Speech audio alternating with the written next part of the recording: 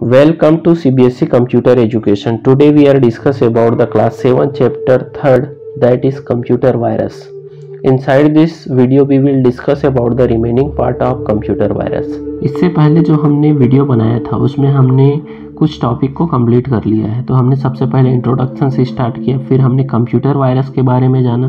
फिर उसके बाद हमने कंप्यूटर वायरस कैसे इंटर कर सकता है इसके बारे में जाना। फिर उसके बाद हमने कुछ कंप्यूटर वायरसेस के बारे में जाना। फिर उसके बाद हमने कंप्यूटर वायरस की हिस्ट्री के बारे में जाना और उसके अलावा कुछ ऐसे वायरसेस के बारे में जाना जिससे हमारे कंप्यूटर में इंटर होने के बाद वो स्पेसिफिक डेट या टाइम में एक्टिवेट होते हैं। फिर उसके बाद लास्ट में हमने रॉक वायरस के बारे में पढ़ा था। अब इस वीडियो में हम जो है उसके, जो रिमेनिंग पार्ट्स है उसके बारे में स्टार्ट करते हैं।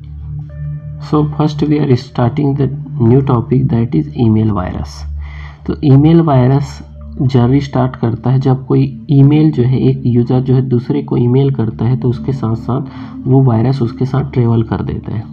और जब वो वायरस किसी दूसरे के कंप्यूटर में जाएगा तो उसके पास जितने भी उसके मेल एड्रेस रहेंगे। सपोज़ आप एक मोबाइल यूज़ करते हैं तो मोबाइल में हो सकता है कि किसी का मैसेज आपके पास आए। और मैसेज के साथ अगर आपके पास वायरस आ जाता है तो वायरस जो है, आपके मोबाइल में जितने लोगों का नंबर रहेगा, सबको एक मैसेज सेंड कर देगा।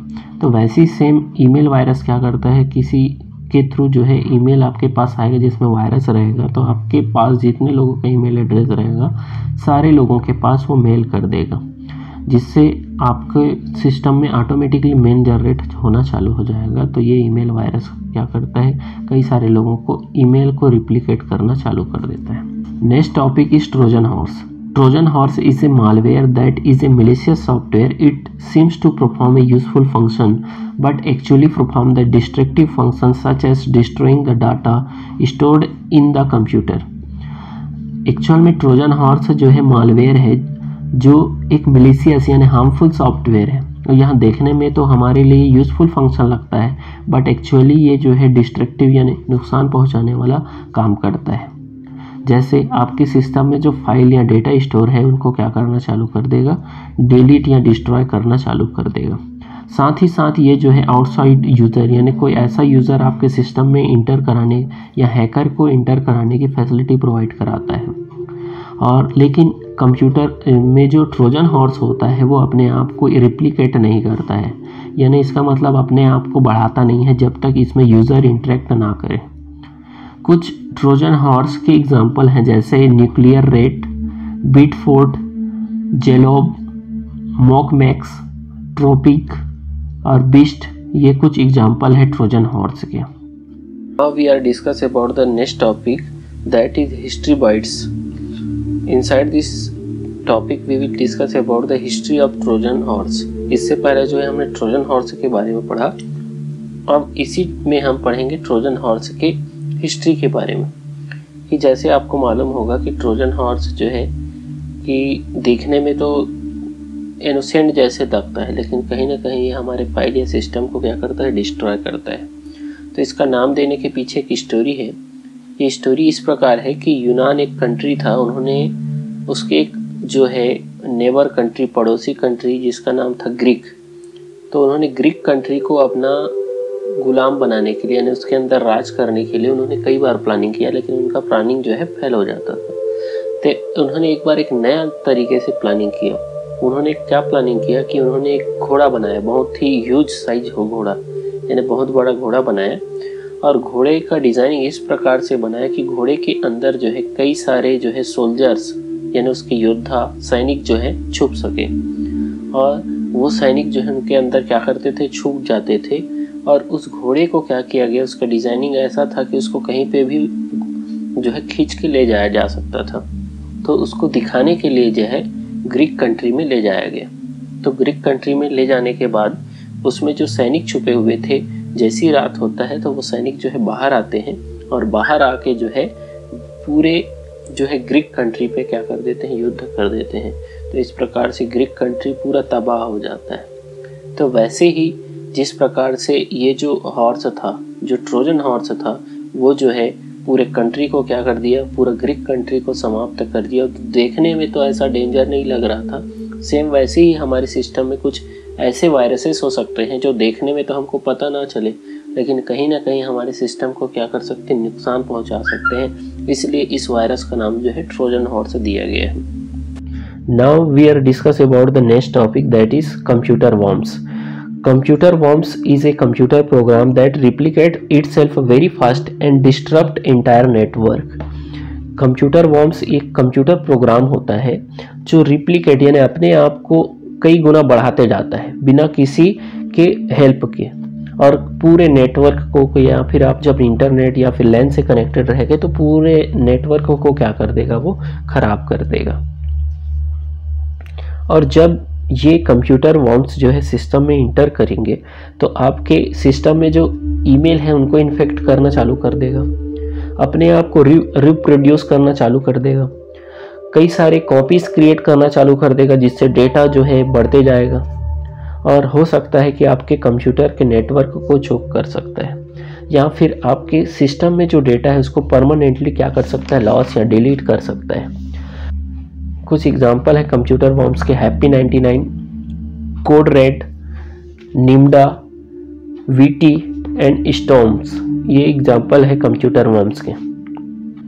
यहीं पे हम अगर ये बात कर लें कि अभी तक हमने जितने भी कंप्यूटर के थ्रेड्स पढ़े हैं चाहे कंप्यूटर वायरस हो या ईमेल वायरस हो या फिर ट्रोजन हॉर्स है उसको अपने आप में बढ़ाने के लिए या उसको एक्टिवेट करने के लिए ह्यूमन की ज़रूरत है, अर्थात होस्ट की ज़रूरत है।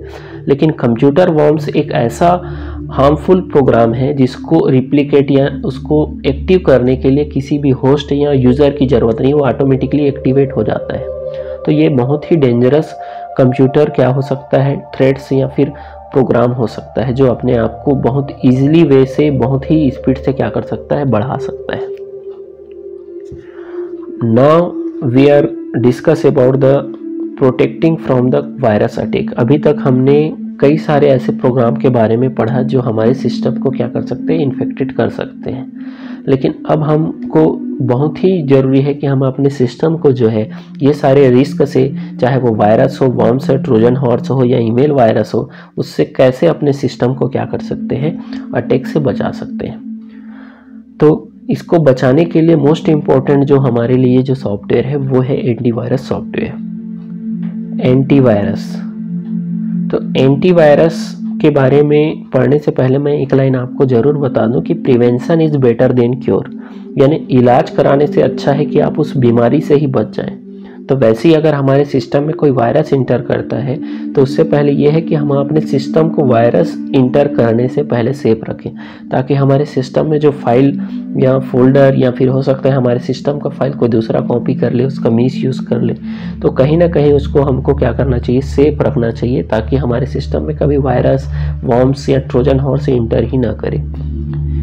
तो एंटीवायरस के बारे में हम डेफिनेशन पढ़ लेते हैं। The antivirus is a software design to protect a system from viruses यानी एंटीवायरस एक सॉफ्टवेयर है जो हमारे सिस्टम को वायरस अटैक से क्या करता है? बचाता है।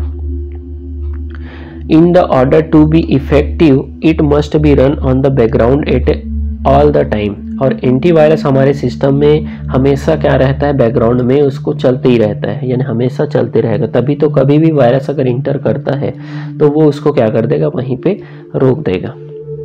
और साथ ही साथ हमको ये भी मालूम होना चाहिए कि एंटीवायरस सॉफ्टवेयर को हमको समय समय पर अपडेट करते रहना चाहिए, ताकि अगर कोई नया लेटेस्ट वायरस आया होगा तो उसको मारने की, उसके अंदर कैपेसिटी क्या हो सके? बिल्ड हो सके। Now we are discuss about the some example of antivirus तो कुछ एग्जांपल जैसे एंटीवायरस के हैं एप प्रोट मैक फ्री एंटीवायरस है नॉर्थन एंटीवायरस है डॉक्टर सुनेमोन एंटीवायरस टूल किट है थंडरबाइट एंटीवायरस है एवीजी इंटर एवीजी एंटीवायरस है कैस्पर इसका एंटीवायरस है, इसके अलावा जो है आपका नेट प्रोटेक्टर और क्विक हिल एंटीवायरस का आप यूज़ करके अपने सिस्टम को क्या कर सकते हैं वायरस से बता, बचा सकते हैं। Next topic is precautions to be taken by computer user ज़रूरी नहीं है कि हर बार जो प्रॉब्लम है, वो केवल वायरस फॉर्म्स या ट्रोजन हॉर्स के कारण आए। कई बार यूज़र के फॉल्ट के कारण भी हमारा सिस्टम जो है ख़राब हो सकता है या उसमें कोई फॉल्ट आ सकता है। तो कंप्यूटर का जो यूज़र जो रहेगा, उसको कुछ बातों का ध्यान रखना ज़रूरी है। जैसे first take regular backups of all important file जो उसके पास जो इम्पोर्टेंट फ़ाइल है, उसको समय समय पर उसका बैकअप या दूसरा कॉपी उसको बना के रखना चाहिए, क्योंकि कंप्यूटर इलेक्ट्रॉनिक डिवाइस है, कभी भी ख़राब हो सकता है। Second boot from hard disk हमको हमेशा जो है अपने सिस्टम को हार्ड डिस्क से ही बूट कराना चाहिए। बूट कराने का मतलब स्टार्ट कराना, कोई दूसरे डिवाइस से स्टार्ट नहीं कराना चाहिए, जिससे वायरस आने की संभावना बढ़ जाती है। Third perform a antivirus checks on all incoming file जब भी हम कोई फ़ाइल हमारे सिस्टम में इंटर करते हैं, जैसे हम पेन ड्राइव लगाते हैं तो पेन ड्राइव से जब भी डेटा कॉपी किया जाएगा हमारे सिस्टम में तो इस बात का ध्यान रखना है कि उसको क्या किया जाए, एक बार स्कैन किया जाए, ताकि उसमें जो वायरस होगा, वो वायरस क्या हो जाए, वहीं पे रुक जाए, जिससे हमारे सिस्टम जो है वायरस के अटैक से बच जाएगा। Next use updated antivirus vaccine so that even the latest virus are covered हमको हमेशा अपने एंटीवायरस के, को क्या करना चाहिए अपडेट करना चाहिए, ताकि जो न्यू वैक्सीन एंटीवायरस के पास आ सके, ताकि जो नया वायरस आया होगा, उसको वो क्या कर सके, ख़त्म कर सके उसको हटा सके। इसके अलावा भी जब हम कभी इंटरनेट यूज़ करते हैं तो हमको कुछ जो है इंटरनेट यूज़ करते समय कुछ प्रिकॉशंस या सावधानी बरतनी चाहिए। जैसे never download from the unreliable site. हमको ऐसे वेबसाइट से कभी भी डाउनलोड नहीं करना चाहिए जो अनरिलेबल हो या फिर अनऑथोराइज हो, जिसमें हमको मालूम ना हो कि वो साइट कैसा है।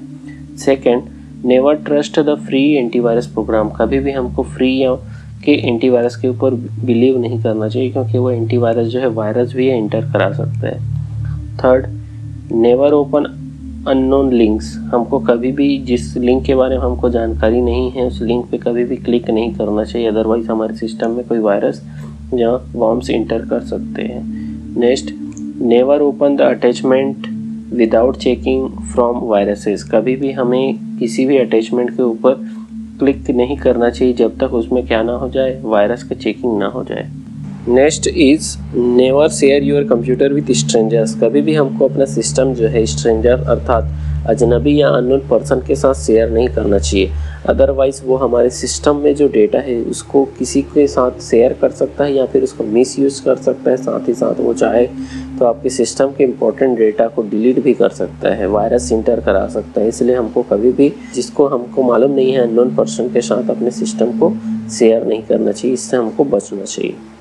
Next never use pirated software कभी भी हमको पायरेटेड या फिर जो सॉफ्टवेयर एक्सपायर हो गया है, उस सॉफ्टवेयर का यूज़ नहीं करना चाहिए, जिससे हमारे सिस्टम को करप्ट होने या फिर उसमें वायरस इंटर करने की जो पॉसिबिलिटीज़ है, वो बढ़ जाती है। तो इस प्रकार से हमारा यहाँ चैप्टर जो है कंप्लीट होता है। आगे के लिए आप बने रहें इस चैनल पे और चैनल को लाइक करें सब्सक्राइब करें, दोस्तों को शेयर करें। और अभी के लिए थैंक यू